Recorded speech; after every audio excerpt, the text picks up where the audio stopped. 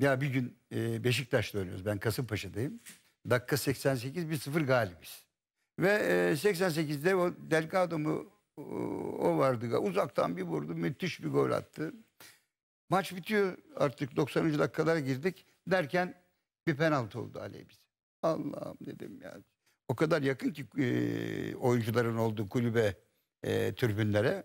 Dolmabahçe'nin eski stadının hali. Taraftarlara döndüm ya dedim ulan ne kısmetli adamsınız. Bu saatte bu penaltı Allah'ım dedim. Başıma gelene bak falan. Üzüldüler halime. Dediler hocam atamayacak.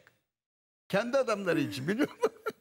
dedim lan seni teselli Nasıl ediyorlar. atamaz dedim. Herif Guti dedim hayatında kaçırmamış penaltı. dedim. Neyse adam gerildi vurdu bizim kaleci çıkardı. Sevindiler ya dediler. Gördün mü atamadı dediler.